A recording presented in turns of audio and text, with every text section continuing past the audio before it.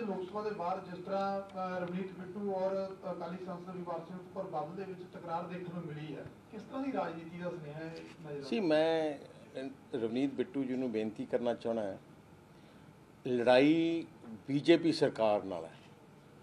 ਪਰ ਉਹਨਾਂ ਦਾ ਨਿਸ਼ਾਨਾ ਸ਼੍ਰੋਮਣੀ ਅਕਾਲੀ ਦਲ ਹੀ ਰਹਿੰਦਾ ਆਪਾਂ ਉੱਥੇ ਲੜਾਈ ਲੜਨ ਵਾਸਤੇ ਆਏ ਆ ਬੀਜੇਪੀ ਦੇ ਖਿਲਾਫ ਕਿਸਾਨੀ ਸੰਘਰਸ਼ ਲਈ।